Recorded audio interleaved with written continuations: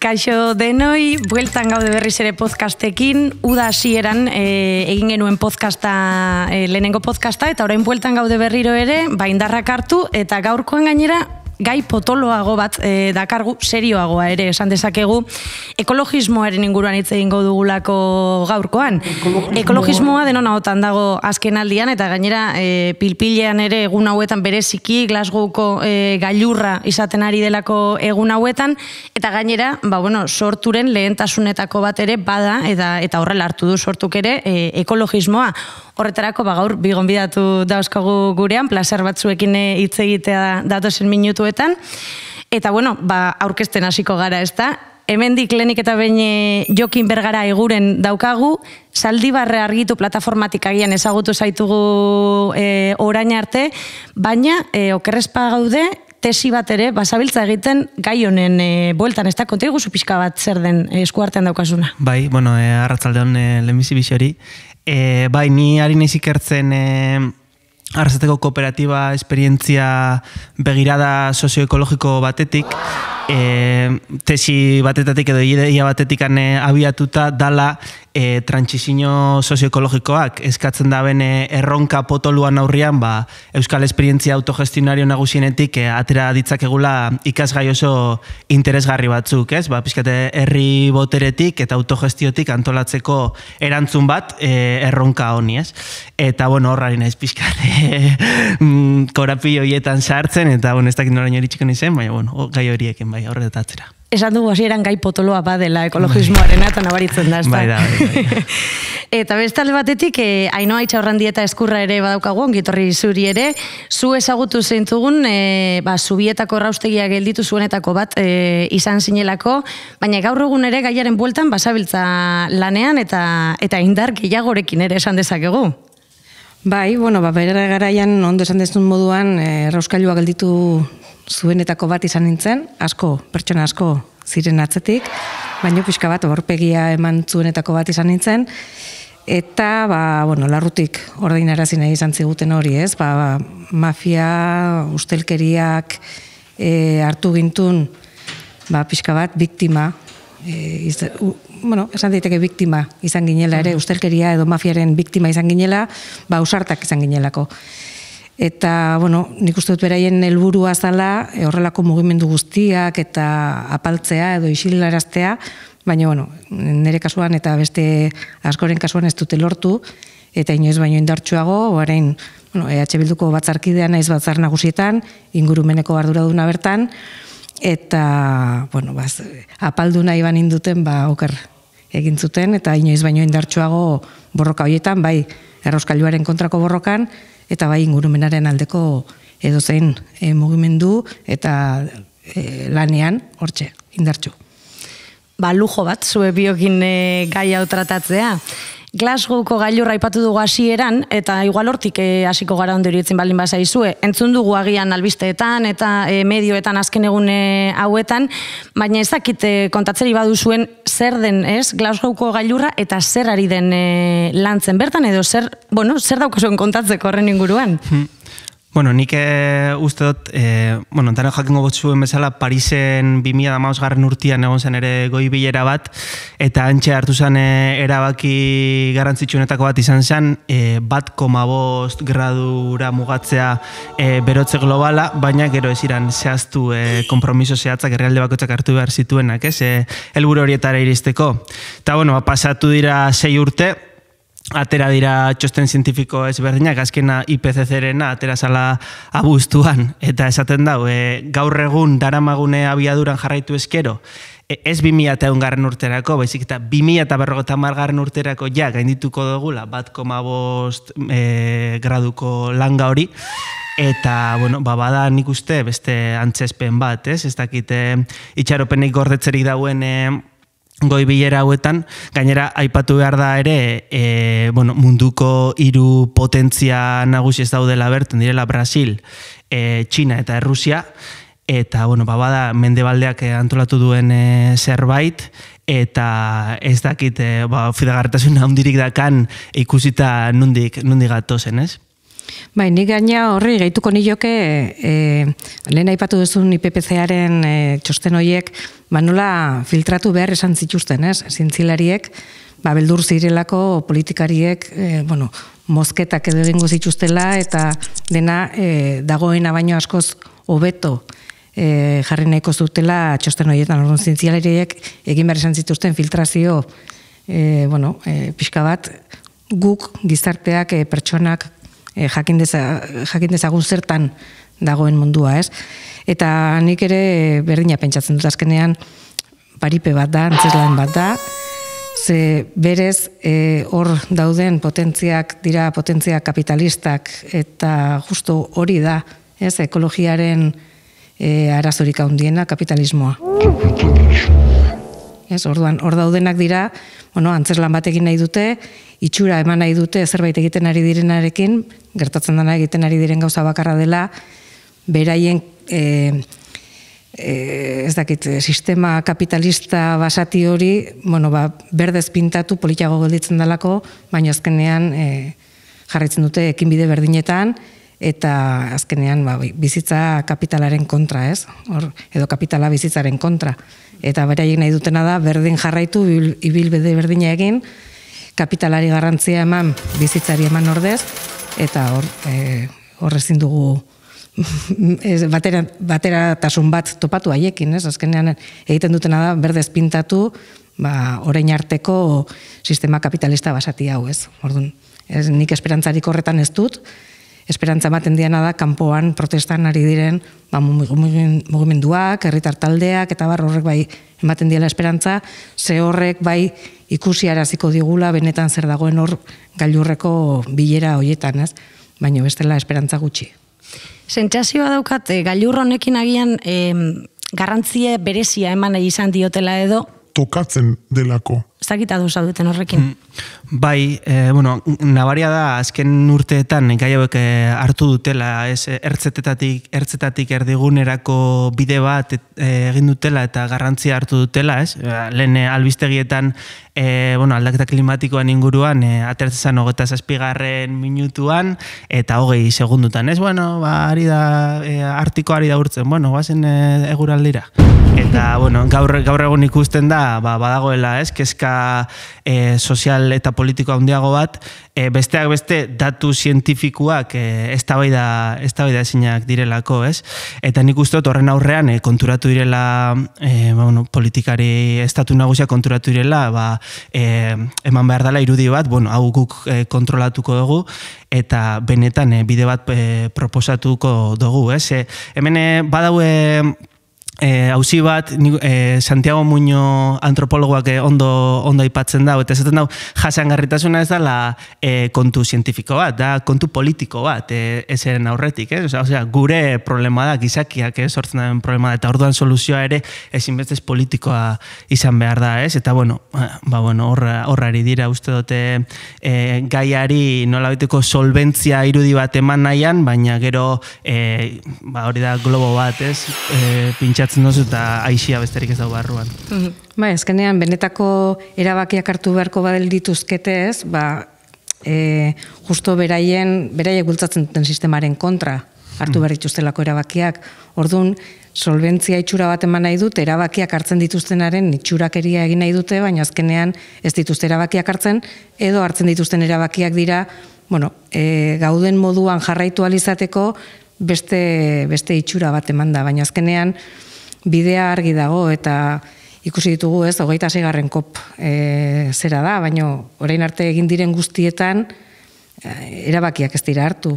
Planteatu dira oso orokorrean, ba ez, e, bat koma gradu e, graduko igoera, ez dakit e, CO2 emisioak, baina gero azkenean hor funtxean edo benetan hartu diren erabakiak ez ere zean gelditzen dira, ez? Dira ba, pixka bat brindis al sol bat edo, ez? Ba, egiten dutela. Gainera gaur hori, filtratu da e, albiste bat, e, hartu dutela e, deforestazioa gelditzeko kompromiso zehatz bat 2008 margarren urterako. Claro, ez dutena esaten da, 2008 margarren urtera arte jarraitu halko dutela deforestatzen, ez? Orduan, bueno, hor badaude trampa dialektiko batzuk edo, ba, bueno, irenisten oso zaila direnak.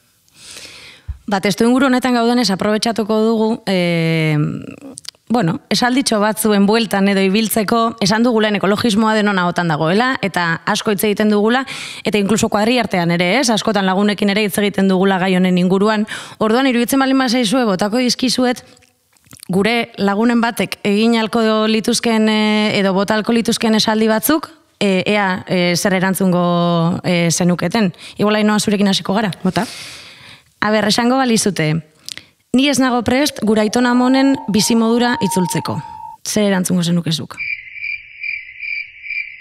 Hombre, ba, gure aitona monen bizitza, e, zan bermatu zezakeena, biziraupena, gure ondorengoek ere, bueno, e, eraduin batean bizitzea, ez? Azkenean gaur egun egin duguna izan da azken e, amarkada, azken hiru lau post amarkadatan egin dugu gizakiak edo pertsonek munduan egin duten kalte handiena azkeneko lau edo bost amarkadetan egin dugu, ez? Eta hori ez da jasangarria, baina ez da jasangarria ja ez bakarrik e, gutzako eta gure ondorengoentzako, ez? Ez da jasangarria ze gu adibidez hemen Euskal Herrian e, gu produzitzen eta kontsumitzen ari garen ara, e, erritmo honetan, hariko bagina mundu guztian, ba, 2,6 planeta edo lur planeta beharko genituzke e, bizirauteko, ez? Kontua da, gu horrela bizi garela, ba, munduan beste leku askotan, e, bueno, ditugulako erabat txikituak, erabat e, egoera ez duinetan bizitzen, eta bueno, hori ez da justua inondik inora ere. Eta gainera, horrela guk ere ezingo genuke jarraitu. Orduan, gure aitona monek bizi al izan zutena, guk izorratu egin dugu, ez die egun gure ondorengoei izorratuago utzi, ez? E, gure lurra, gure ingurunea, gure zera. Eta voltatu berba dugu, gauz askotan voltatu beharko dugula, eh? E, hitz egiten dugunean, voltatu beharko dugu beste egoera batzutara, beste kontsumo ohitura batzutara, beste eredu batetara voltatu beharko dugu, derrigor, bestela guk bizi duguna gaur egun bi arrestugu guk ere ezagutuko. Eta, bueno, nik uste dut gure biziraupenagatik eta gure ondorengoengatik derrigorrezkoa dugula, bueno, galga jarri eta pixka bat aztertu zertan ari geran eta ze, zer egiten ari geran eta zertan pasatzen ari garen, ez? Hmm. Nik izango niok ere, e, bueno, uste dut horre klabitako bat hori dala, ez? E, ondorengo belaunaldien e, bizi baldintzen gain, e, ari zara erabakitzen zu gaur konsumitzen duzunakin, hori alde batetik, eta beste batetik, e, bueno, badaude ikerketak esaten dutenak, e, desaskunde batetik, jasangarra izango zela, e, hemen Euskal Herrian irurogeta margarren amarkadan genukan kontsumo energetikoa. Eta, bueno, eta margarna marka nidaki dala, edan alzan e, garagardua, ardua, inalzan dantza, eta, bueno, e, basan posible ere, ez? E, bizitza erdi zoriontxu bat eramatiak, enduta, e, diktadore bat zeuala, ez? Ego euskal herri, baina, bueno, hori gaindituko bagenu, ba, nik ustot ez dala ere esatia eko basuluetara vuelta behar gara, baizik, eta, bueno, mugatu behar dugu pizkate gure kontsumo mugagabe hau, eta igual, ba, udazkenian, e, edo zinazte burutan ezin zara, joan, ba, Amsterdamera edo Moskura e, ikustera, politxan eh, hango hango e, turismoa, ez? E, bueno, olako renuntzia batzu jarriko bagenitxun mai gainean, nik ez dut uste ere danik e, horrelako ukapen bat, e, lagun bat gure inguruan mugitzen dane jendeak, esateko modukoa ostia ze bizitza gogorra, bestia, bueno, ez da, ez da inbesterako ere, ez? E, algarko ginen bizi gutxiagorekin, e, denbora libre gehiago irabazi, pues, zeintza harremanetarako, solasirako, edo izarrei begiratzeko, ez dakite, baina, baina, bai, ez, ez, e, ez neban deaburrutuko lan eh, desaskundea. Mm Botako izut bigarren esaldi bat e, zuri azteko, hau ere, e, ba, bueno, lagunen bateke esan da, zer erantzungo zenuke, ekologista izan naiteke etxean irukotxe edukita, familiako etxean irukotxe edukita? ba, bueno, eh, ondo gongo zen ekologista izaten hastia konturatzen, eh, ezin zarela ekologista izan hiru kotxe edukita, ez hor, badaude bi bi, bi faktoren ere ustez ezinbestekoa direnak, eta da, e, baldin eta iritsiko bagarak izarte sistema jasangarriagoetara, e, erabaki estrukturalak eta auto individualak e, eskutik e, joan beharko dira, ez? E, eta bueno, uste dute e, ekologista edo igual nik itzengo neban ekosozialismoan inguruan hobeto, ez? Ba, gehiago e, esaten da belako e, ba, hori aberastasunaren bierbanak eta justo bat eta bueno, justizia sozialaren printzipioak dimentsino ekologikoan barruan gertatu behar direla gaur egun, ez? Eta, bueno, ba, arzko daukala ere horrek e, bizi estilo batekin, bizi modu batekin, e, bastakit, en, zure elikadura buru jabetzaren inguruan eitzen dituzen autuak, energia buru jabetzaren inguruan, ez dakit, dirua e, finantza kooperatibetan jartzeak, ez dakit, badaude gauzak norbeanakoak egin ditzakenak, e, ba hori ez direla e, iraultza bat e, bere horretan e, gaurtik biharrerakoak, baina bueno, e, bai aplikatu ditzakezunak zure zure bizitzara, ez? Eta desde luego iruko txeukitzia garajian, ba ez da, ez da oso autu jasangarria. E, eko goratu naiz orain, eta e, uste dut egun hauetan e, irakurri dudala e, Glasgowko gailurraren e, bueltan, agintariren bat larogoi kotxerekin joan omen dela e, gailurrera individuala, bueno, e, joera individual hoiek, baina gero e, norberari botatzen dizkigutenak edo norberaren gain jartzen dizkigutenez aratago ere e, badira e, hartu beharreko erabakiak agian hauek, ez? Bai, noski, azkenean, e, jokinek ere oso ondo aipatu du, ez azkenean, erabaki strukturalak eta individualak e, eskutik joan behar dute. Nahi eta nahi ez, guk egiten ditugun oiturak, e, erabakiak, guzti horiek ondoriak dituzte. Eta ondorioi ez badiego erreparatzen, bagian ustez oso ekologista gera, ez? Eta kotxeak hiru eta joaten gera astebururo ba ez dakit norako e, abioian, ez? Baina guk egindako guk hartutako erabaki bakitzaren atzean ondorio batzuk daude.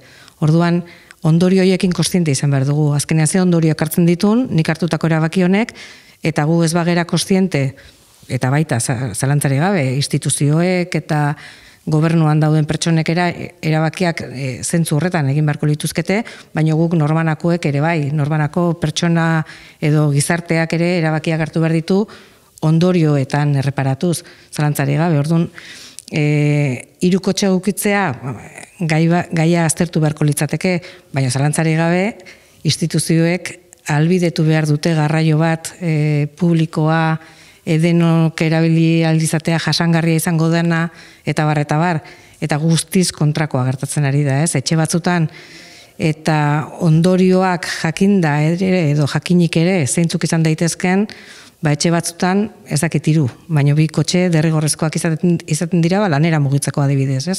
Ba, gaur egun garraio publikoan, ba, ez dalako kasik inbertsiorik egiten, eta guztiz kontra, ba, egiten ari direna orain da, ba, linea batzuk endu, edo maiztasunak murriztu, eta azkenean erabaki individualak hartzera okerrak agian, eh, baino behartzen gaituzte. Orduan, bai instituzioak, bai gobernuak eta bai norbanakoek e, zentzu berdinean hartu berrituko erabakiak, baino derrigorrezkoa da guk ere pentsatzea gure autu bakoitzak ondoriak ditula eta ondori joiek saiestu berritugula, hori zalantzari gabe.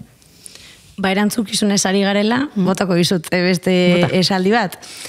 Eusko Jorlaritzak badu bere Green New Deala eta Iberdrola ere ari da energia berdea ekoizten.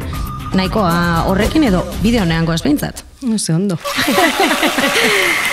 bueno, azkenean Eusko Jorlaritzak eta Iberdrolak egiten duten adalen aipatu dudana, ez? Ba, hemen ere arrostegi batera digute eta hori da konsumo basatiena eta kapitalistena eta ingurumenaren kontra di joan hondakinen eredu potenteena, baino berdez pintatu digut eraikina, orduan ze polita. Berdea da, ekologista da, ez?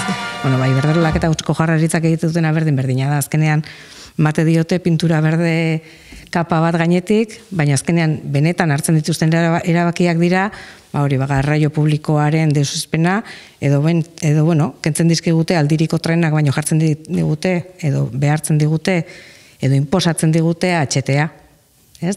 Demagun, kriston triskantza, milak eta milak eta milak euro, inondik inora joango ez tren bat, e, iberdrolak, ba, berdin, e, argindarra, ekologikoa, e, berriztagarriak, ez dakiz zer, bueno, baina azkenean guzti hori oinarritzen ari dira, ba, e, ba, ingurumena izorratzen duten e, plantekin, eta bar, ez? Orduan, nik uste hor, egin behar dena da benetan e, analizi sakon bat. Gertatzen dana gaur egun bai iberdrolak eta bai jaurlaritzak defendatzen dutela lehen aipatu dudan sistema kapitalista hori. Orduan, gaur egun dauzkagu parez pare ekologista zer da, ekologismoa zer da. Ekologismoa da, ba justu bizitza eta guztion alde borroka egiten duen e, mugimendu, ingurumena zainduko, du, zainduko duen mugimendu antikapitalista izan behar du derrigor.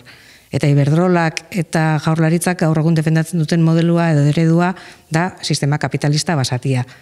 Berdez pintatuko dutena eta oso txukun eta oso polita geldituko dena, baino azkenean e, norantza berdinean. Dijo aztena, eta egingo dituzte politika, bueno, partxeoak agian, e, eta agian e, birkolokatuko dira, e, berzentratuko dituzte, berain diskursoak, baina azkenean e, le, lehengo lepotik burua. Mm Bai, Lehen egiten zuten berdina egingo dute, eta jarraituko dute egiten. Ni, ni gaituko nuke gainera, e, beraien diskursoan, e, planteatzen dutela posible izango balitz bezala erregai fosilak eh, energia berriztagarriaren gatik ordezkatzea, eta hori zientifikoki eh, ezinezkoa da. Atera ziren ere hidrogeno berdea izango zela, ez? E, ba, la revoluzion berde esaten zuten da. da ez dago oso oinarri zientifiko aulak dauzka, ez? E, nik ez dakit da, Bas Green Deal honekin, e, ba, badirudi jaurlaritzaren proposamena dela, ba, bueno, ba, invertiduko dugu e, obra publiko berrietan, ez? Bueno, kantauri igotzen dala, ba, ingo dugu dike bat, e, holandesak bezala e, getxotik e, angeluraino, eta gero bestela sortuko dugu Basque Innovation Center, eta bueno, ba, freskatuko ditugu e, donostiko aldezarra da bilboko aldezarra, ez, olako e, teknologiaren bitartez, ez, eta hori da, e, oine, ba, fu, Europako funtsekin eta egiten ari direna ere, bada diru publikoa sartu betiko korporazio handietan, ba, inbertitzeko arabako eguzki plaketan edo Nafarroako aize, aize errotetan, ez? Jakin badakitenean, e, ez garela gizarte elektrikoetan bizi, gizi gara gizarte fosiletan, eta elektrifikazio prozesu basati bat gertatu ezean, e, alperrik jarriko dituzu, alperri beteko duzu arabako lautada e, energia fotovoltaikoz, gainera horrek berak ere sortzen ditu, e, ez, e, kalteak e, bertan. Orduan, ba, bueno, ba, hainoak aipatutakoa, greenwashing, nuntxa bai. Bai.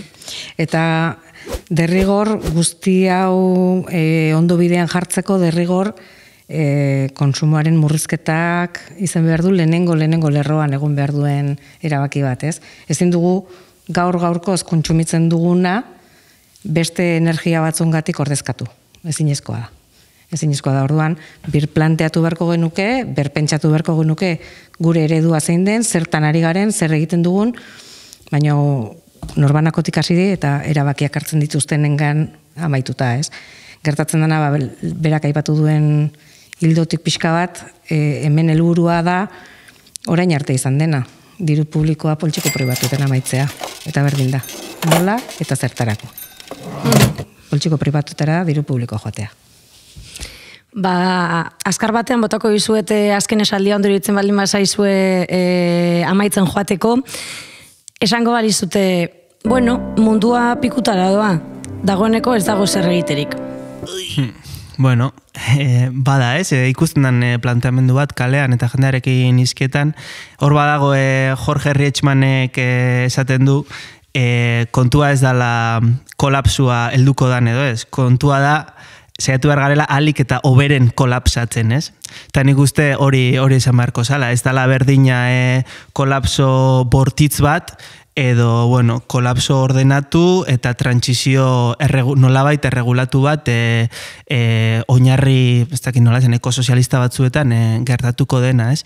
Orduan, e, ez naiz oso zalea ere mezu apokaliptikoak e, bidaltzearena, eta, bueno, egagian e, horrelako gaietan ibiltzen garen oketa badukagu joera, ez, e, mezu e, oso ilunak e, bidaltzeko, eta ustut badagoela beharra ere, e, hori, e, esperantza puntu bat e, transmititzeko eta zeteko ez, ez, hemen e, batalla bat eman behar dela, horretan ari garela, eta gure bizitzengatik ez bakarrik, baizik eta ondoren etorriko diren e, belaunaldien gatik, batez ere langile klasiko belaunaldien gatik, ze horre ez klasik uspegia txertatzen badugu, ba elitek ja badukate e, soluzionatuta, ez? Ari dira e, koete bat egin nahian e, martera juteko, eta honek Bruno Laturrek ez zeban e, e, Titanic ondoratzen e, ari dala, eta bueno, esan di, elitek esan diote bandari pues, jarretzeko musika jotzen, ez? Eta bueno, pues, on, hilko dira pobriak eta guk hartuko ditugu e, ba,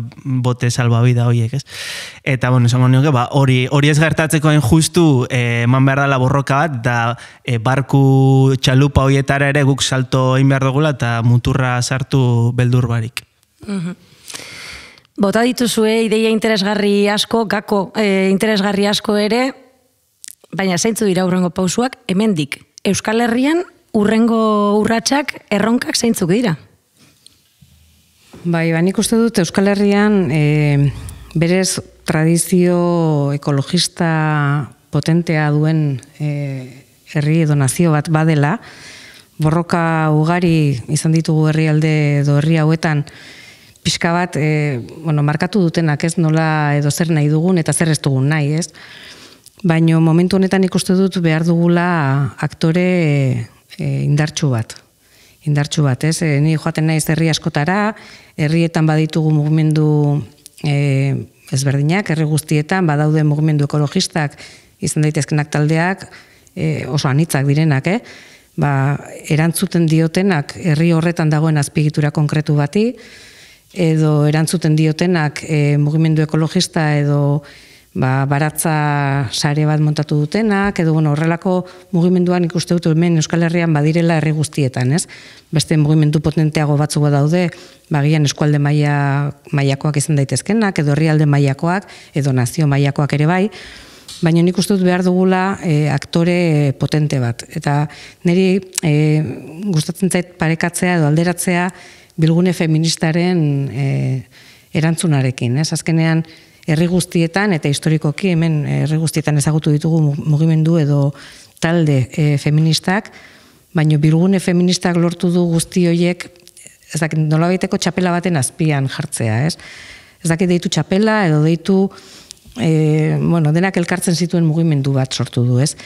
Eta nik uste dut hemen Euskal Herrian eta Euskal Herriari begira Euskal Herrirako mugimendu horrelako mugimendu potente bat behar dugula, ba norbanako guzti hoiek edo talde txiki edo talde handiagoak edo talde ertain guzti hoiek e, babesa edo txapela horrenpean jarriko garenak eta minimo batzuetako helburuak finkatuko dizkiguna gure buruari, ez?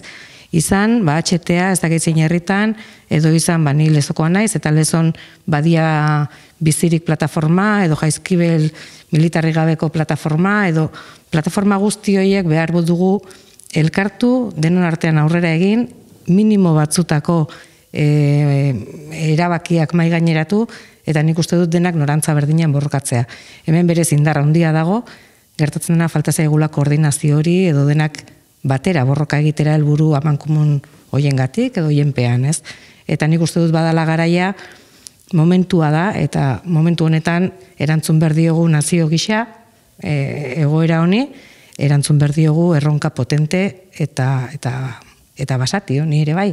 Eta nik uste dut horre gainera emango digula aukera nazio gisa berriro ere erantzuteko egoerari, egoera mm, gogor honi, ze egoera gogor bat datorkigu eta gainera gure ondorengoei askoz okarra gautzeko diego, ez?